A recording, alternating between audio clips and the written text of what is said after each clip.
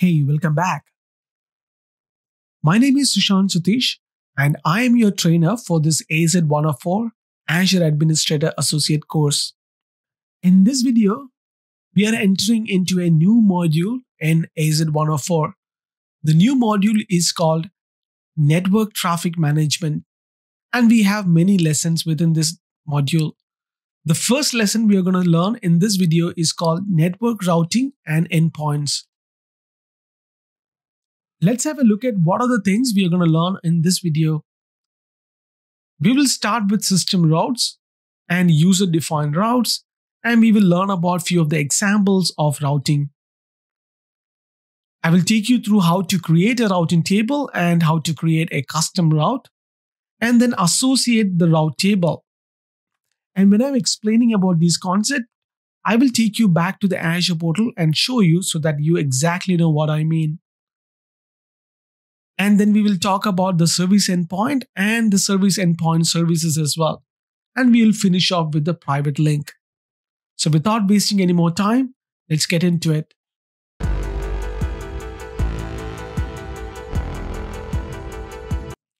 Azure uses system routes to direct network traffic between virtual machines, on-premises network, and the internet. The following situations are managed by these system routes. Traffic between VMs in the same subnet, between VMs in different subnets and same virtual network, and data flow from VMs to the internet. For example, consider this virtual network with two subnets. The communication between the subnet and from the front end to the internet are all managed by Azure using the default system routes. Please note that the information about the system route is recorded in the route table. A route table contains a set of rules called routes that specifies how packets should be routed in virtual network. And the route tables are associated to subnets and each packet leaving a subnet is handled based on the associated route table. And the packets are matched to route using the destination. And the destination can be an IP address, a virtual network gateway, a virtual appliance, or the internet. If a matching route can't be found, then the packet is dropped. So what is user-defined route? As explained in the previous topic, Azure automatically handles all network traffic routing. But what if you don't want to do something different? For example, you may have a virtual machine that performs a network function such as routing, firewalling, or WAN optimization. You may want certain subnet traffic to be directed to the virtual appliance. For example, you might place an appliance between subnets or subnet and the internet.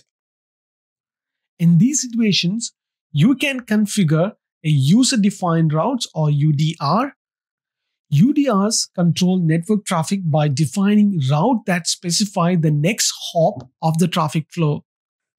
This hop can be a virtual network gateway, virtual network, internet, or virtual appliance. Please note that each route table can be associated to multiple subnet, but a subnet can only be associated to a single route table. There are no additional charges for creating route tables in Microsoft Azure. So let's review a specific network routing example. In this example, you have a virtual network that includes three subnets. The subnets are private, DMZ, and public. In DMZ subnet, there is a network virtual appliance, and network virtual appliance are VMs that help with network functions like routing and firewall optimization. You want to ensure all traffic from public subnet goes through the network virtual appliance to the private subnet. So what are the steps you need to take? The first step is you need to create the route table. Then you will add a custom route that requires all private subnet traffic to be directed to the network appliance. And finally, you associate the new route to the public subnet. Please note that by default, using system route traffic would go directly to the private subnet. However, with a user defined route, you can force the traffic through the virtual appliance. Creating a route table is very straightforward. Uh, you must provide the name, subscription, the resource group location, and whether you want to use a virtual network gateway route propagation.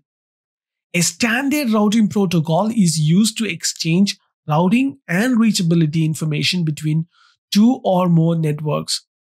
Routes are automatically added to the route table for all subnets with virtual network gateway propagation enabled.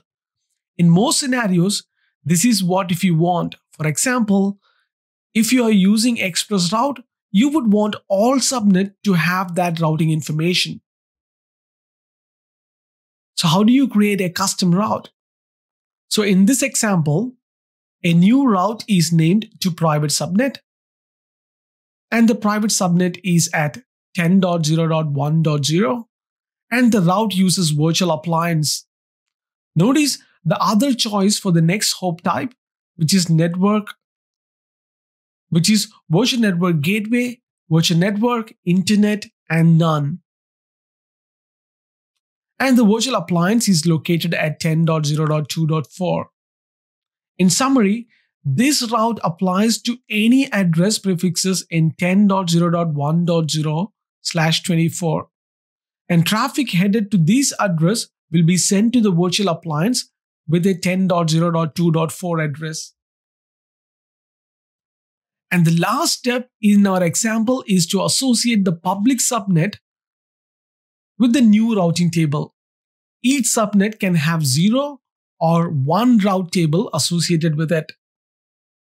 In this example, remember that virtual appliance should not have a public IP address and IP forwarding should be enabled on the device. Alright, so let's understand what is service endpoints. A virtual network service endpoint provide the identity of your virtual network to the Azure service. Once service endpoints are enabled in your virtual network, you can secure Azure Service resources to your virtual network by adding a virtual network rule to the resources. Today, Azure Service traffic from a virtual network uses public IP addresses as source IP addresses. Once service endpoints are enabled in your virtual network, you can secure Azure Service resources to your virtual network by adding a virtual network rule to the resources. Today, Azure Service traffic from a virtual network uses public IP address as source IP address.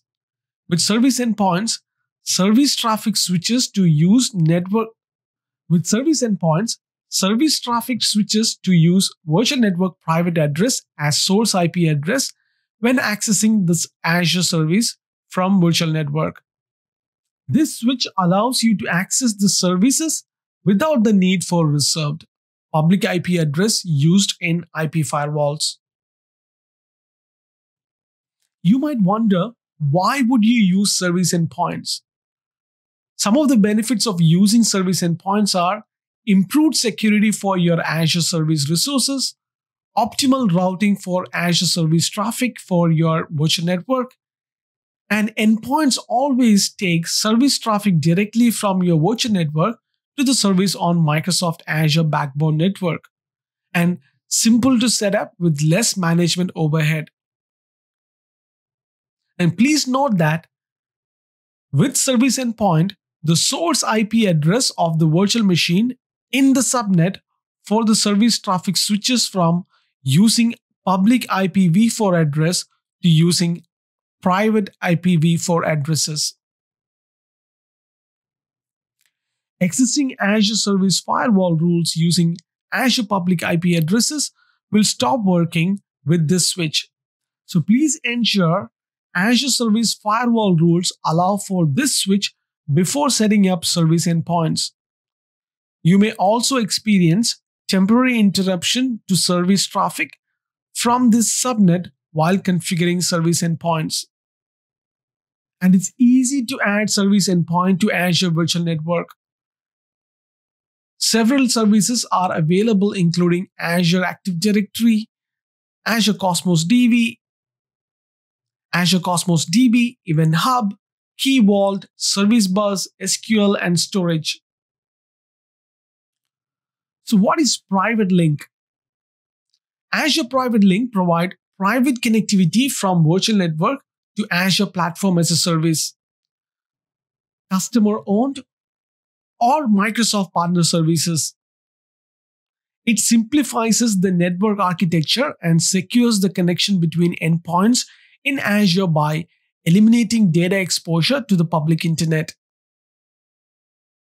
There are few benefits to Private Link. The first one is private connectivity to services on Azure, then integration with on premises and peer network, then protection against data exfiltration for Azure resources, and services delivered directly to your customer's virtual network. So, how it works? So, use Private Link to bring services delivered on Azure into your private virtual network by mapping it to the private endpoint, or privately deliver your own services in your customer's virtual network. All traffic to the service can be routed through the private endpoint. So no gateways, NAT devices, express route, or VPN connection or public IP addresses are needed. Private link keep traffic on the Microsoft global network. Alright, so that concludes the first lesson of network traffic management module. In the next video, we're going to learn about Azure Load Balancer. So I will see you in the next one. Till then, take care.